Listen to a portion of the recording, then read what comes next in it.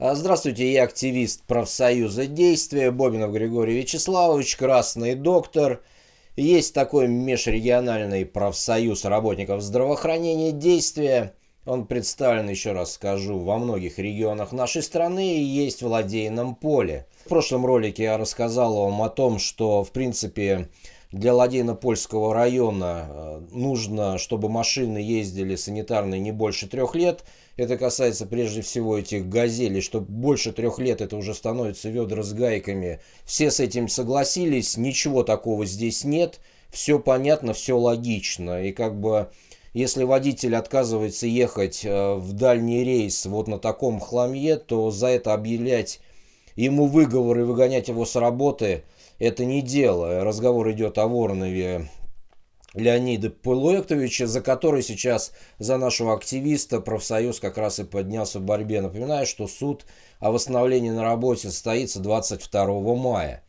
Но если э, все согласились с тем, что «Газели» не могут больше трех лет в таком режиме 24 часа в сутки работать на скорой помощи, что их надо менять каждые три года, сейчас хотел бы с вами обсудить вопрос, именно сколько же машин скорой помощи нужно э, для ладейного поля, для ладейно-польского района. Главный врач Егоров уже написал, что обоснуйте там свои какие-то решения, петиции. Ну вот я со скорой помощи, в принципе, весь актив со скорой помощи, соответственно, вот что касается скорой помощи, я вам обосную вообще за 5 секунд. Итак, давайте разберемся, сколько надо бригад скорой помощи, ну, с соответствующим оборудованием, техникой, санитарными машинами на Ладейное поле и Ладейно-Польский район. Для этого далеко ходить не надо. Вот вам представлен приказ, довольно свежий. От 20 апреля 2018 года называется об утверждении методических рекомендаций о применении нормативов и норм ресурса обеспеченности населения в сфере здравоохранения. Ну и чтобы вам долго не искать, про нас здесь пункт 8. Вот я его представляю на экране. Пункт 8. Общепрофильные бригады. Ну это общепрофильные то есть это не реанимация, не детская, не педиатрическая, то есть вот именно общепрофильное, то, что у вас есть в владельном поле.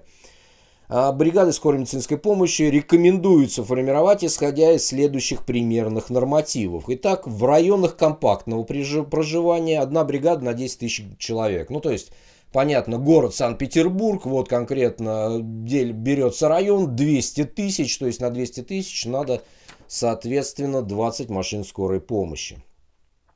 Дальше идет э, следующее рассуждение. В районах с низкой плотностью населения, при радиусе э, территории обслуживания равной 30 километров, одна бригада уже на 9 тысяч человек. Если 40 километров радиус, то одна бригада 8 тысяч человек, на 8 тысяч человек населения, 50 километров одна бригада на 7 тысяч человек населения, свыше 50 километров одна бригада на 6 тысяч человек населения. Итак, открываем Википедию. В Википедии ясно написано, что у вас на этот год э, население района 28032. Итак, исходя из 182 приказа, Радиус обслуживания со слов фельдшеров, которые водители, которые работают на скорой, больше 50 километров. И плюс еще иногда, ну не иногда, а часто приходится транспортировать пациентов в Ленинград и туда-обратно набегает ну больше 400 километров, то есть а то и 500, а то и больше. То есть получается, что как раз попадает вот эта вот категория ну минимум одна бригада на 7 тысяч человек населения. То есть делим 28 на 7, получается 4 бригады. Итак, у вас сейчас на данный момент в ладейном поле работает 3 бригады, 2 находятся непосредственно в городе, одна в отдаленном населенном пункте. Итого 3. Если главный врач не знает, как обосновать, что вам должны, у вас должно быть 4 бригады скорой помощи, то вот обоснование, пусть лезет э, в 2018 года приказ 182, и там конкретно увидит вот эти вот цифры. Ну, еще вернемся к проблеме ладейного поля. Это удаленность от Санкт-Петербурга, от Всеволожска, от Оксова, где находится стационар, куда приходится возить. То есть получается, что есть группа пациентов, которые находятся в Ладейно-Польской ЦРБ, их надо для дообследования, обследования вести в ту же областную ленинградскую больницу. И, соответственно, для этого надо выделить автотранспорт. То есть понятно, что именно бригады скорой помощи предназначены для того, чтобы обслуживать больных именно в порядке экстренной неотложной помощи. Но есть еще такие пациенты, которые как бы уже обследованы по наблюдениям в экстренной неотложной помощи не нуждаются, а нуждаются, допустим, в дообследовании. Ну и как решать эту проблему? Ну, главный врач подумал и издал соответствующий приказ. Ну, молодец такой, а что еще остается делать? Что для таких пациентов, которые надо перевозить из Ладейного поля в Санкт-Петербург или же из отдаленных поселков привозить в Ладейно-Польскую ЦРБ, держать отдельный санитарный транспорт. Решение адекватное и правильное. Появились такие пациенты в ближайшем селе, собрали их там и на, вот на таком транспорте, оборудованном для перемещения таких пациентов, если нужны носилки, соответственно, носилки, если просто сидящие, соответственно, сидящие места, оборудованные специальными ремнями, все это привозится непосредственно а, в Ладейно-Польскую ЦРБ, либо везут из Ладейно-Польской ЦРБ, или поликлиники, соответственно, везут для обследования в другие стационары Санкт-Петербурга и Ленинградской области.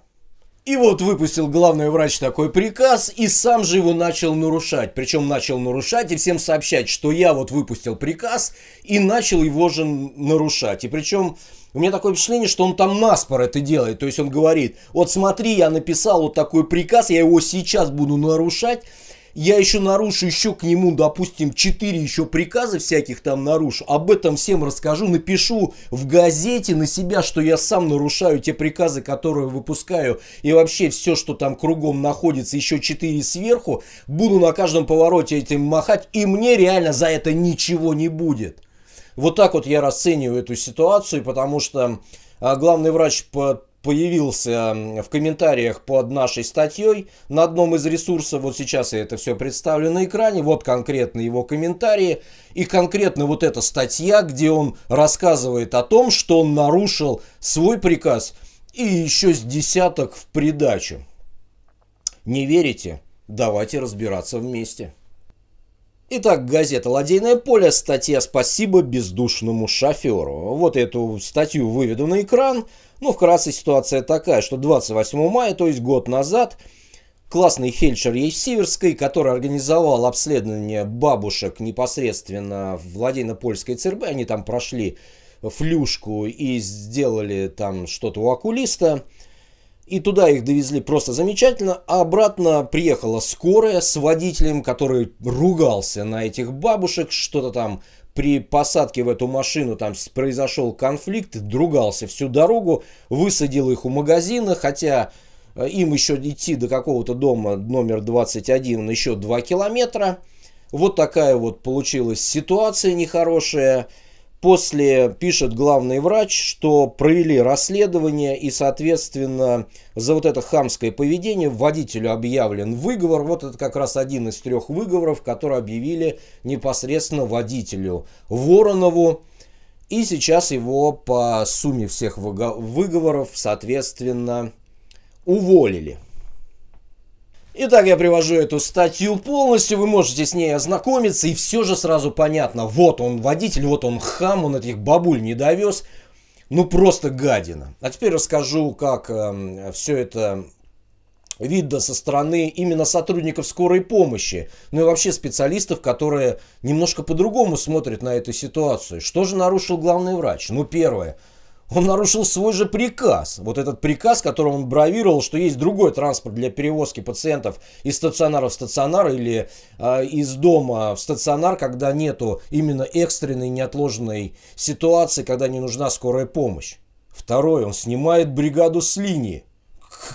И так там бригад, как мы выяснили, не хватает, да, вместо 4-3 работает, он еще и одну бригаду снимает с линии. Третий, он ее расформировывает. То есть, ну как так? Есть снаряд, есть еще что-то. Не выпускается отдельного приказа. Берут ее и расформировывают.